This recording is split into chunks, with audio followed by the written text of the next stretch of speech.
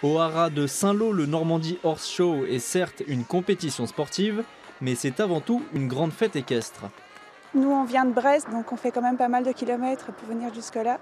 Et euh, les terrains sont très bons, euh, les, les parcours sont toujours très bien montés. C'est c'est vraiment un plaisir de venir en concours ici.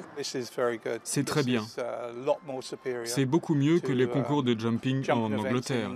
Ce qui est sympa, oui, c'est d'avoir le village d'animation, euh, d'avoir euh, les expos photos, des souvenirs, euh, plein de belles photos de cavaliers et éleveurs de la région qui ont marqué euh, l'histoire du NHS. Si vous venez, vous verrez des concours de jumping, Avec euh, Antoine de Paulin cette fois-ci, 66 secondes. 30 d'élevage ou plus surprenant, des tests de tempérament.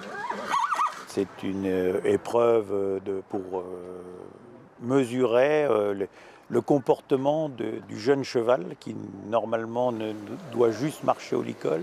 Et puis euh, on essaie de, de le faire marcher sur une bâche. euh, on ouvre un parapluie quand il est à proximité à 5 mètres, je crois. C'est pour mesurer ses réactions.